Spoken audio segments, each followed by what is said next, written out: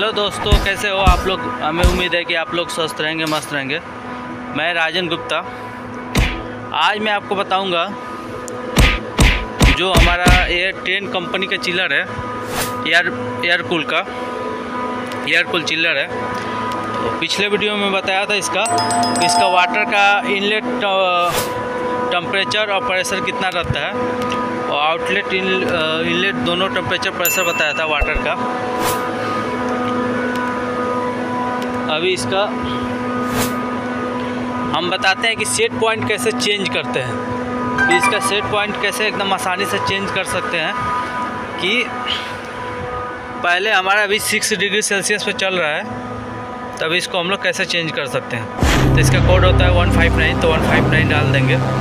जो train company इसका code होता है। तो अभी डाल चुके हैं, ये ऑटो में है। दो चिल्लर हमारा चल रहा है, अभी दो चिल्लर बंद पड़ा हुआ है।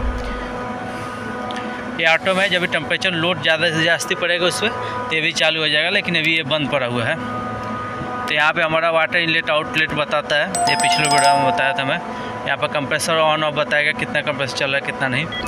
और इसका सेट पॉइंट चेंज करने के लिए जो इसका आउटलेट सेट पॉइंट रहता है, उसको चेंज करने के लिए यहाँ पर जाएँगे और सेट पॉइंट में जाएँगे। आप देख पा रहे सेट पॉइंट में जाएँगे। सेट पॉइंट में आ गए।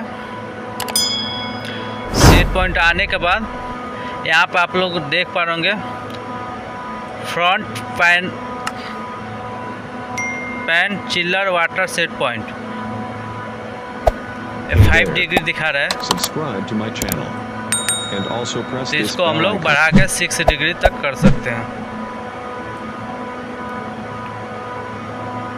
यहाँ से बढ़ा के सिक्स डिग्री करके और इंटर कर देंगे। और कम करना रहेगा तो यहाँ से हम लोग कम कर सकते हैं।